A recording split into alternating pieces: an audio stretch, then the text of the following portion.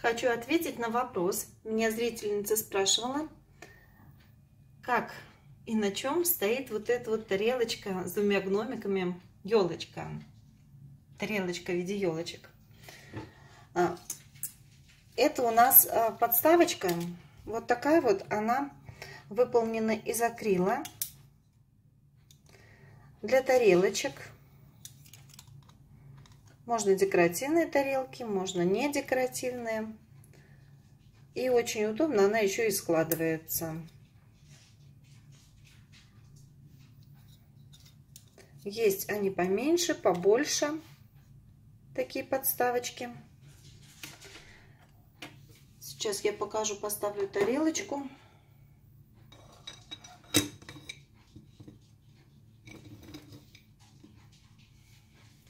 Вот. И тарелочка на подставочке будет стоять. Также и с этой подставочкой, вот маленькая, побольше, и есть еще средние. Маленькую можно использовать, наверное, под маленькую тарелочку, а вот эту вот большую под среднюю и под большую.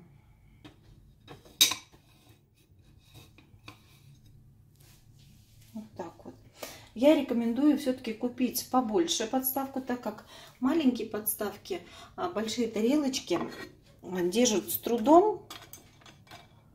Вот, допустим, эту елочку вообще не будет держать, потому что у нее, видите, не хватает ей размера для того, чтобы поставить ножку. Круглую можно поставить, но все равно неудобно. Вот маленькая неудобно. Лучше всего приобрести побольше, и тарелочки будут у вас стоять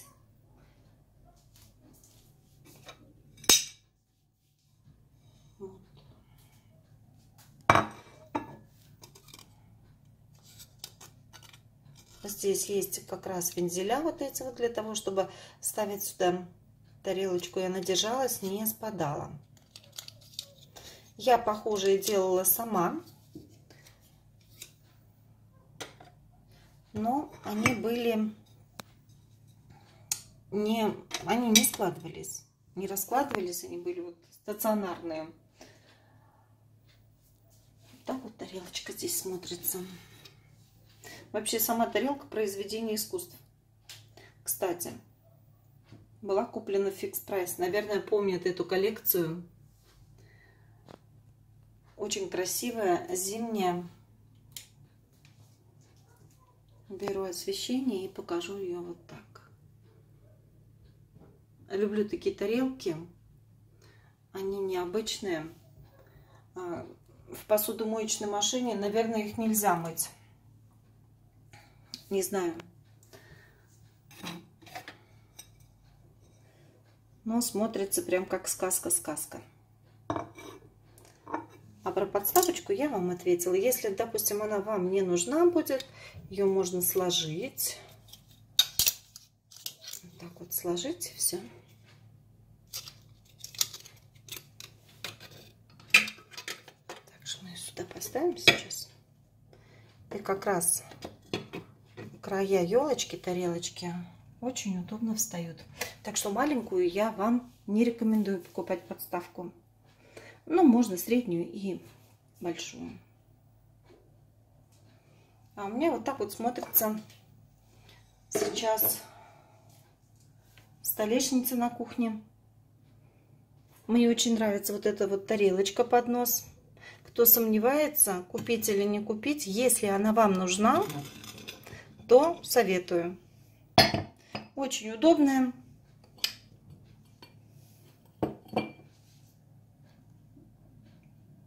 Стоит здесь, допустим, вот мы чай садимся пить, я в эту тарелочку а, накладываю что-нибудь там, бублики мужчинам своим, пирожки, когда пеку.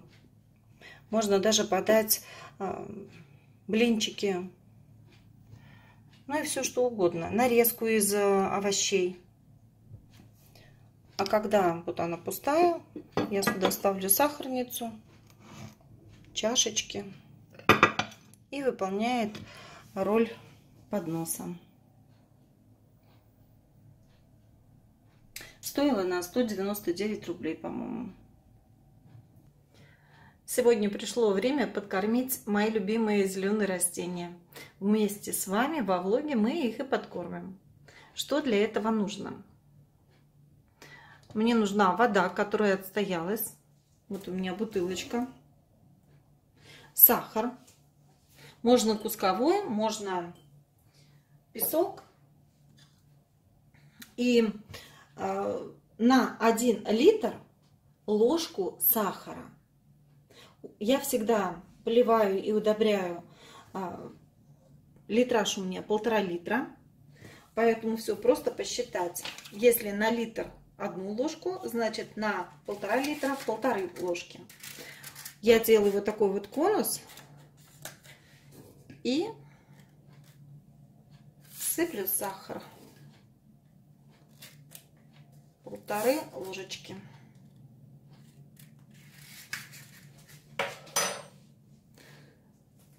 Сахарницу закрываю обязательно. Закрываю бутылку и хорошенько размешиваю, взбалтывая ее.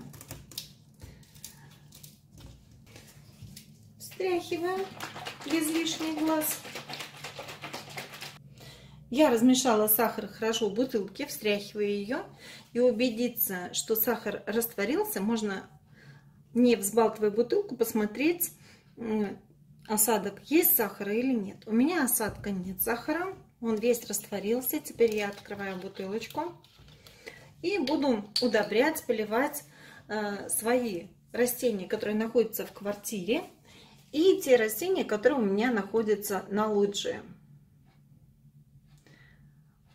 У меня замиокулькас, который я очень хотела, купила, и он меня подрос. Подрос он меня хорошо, стал высоким. О нем позже я расскажу. и буду поливать. Но перед тем, как удобрить а, сахаром, нужно за день пролить растения. Я вчера пролила растения все, а теперь просто-напросто проливаю их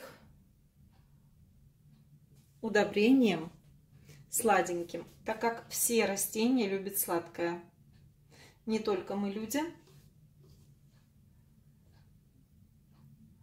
поливать, удобрять а, сладким нужно не чаще, чем раз в месяц. Я пойду полью по всей квартире цветочки удобрю, а потом мы вместе с вами сходим на лоджию и там польем свои растения. Я на лоджии и буду удобрять, поливать сладким. Это у меня вот такой вот красивый цветок кала, клубневый кала. В большом горшочке мы его удобрим. Декабрист не буду удобрять. Кротон обязательно удобрю. Здесь у меня наверху находится хоя. Ее я не удобряю. Удобряю бальзамин, а затем розу.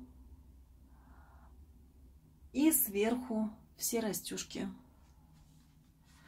Давайте хорошенечко польем нашу калу.